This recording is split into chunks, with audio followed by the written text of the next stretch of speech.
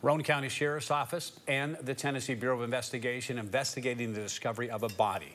We're told this morning a woman's body was found at 109 Circle Drive in Rockwood. No other information is being released at this time from the Sheriff's Department or TBI, but we will continue to update you as we learn more about the investigation.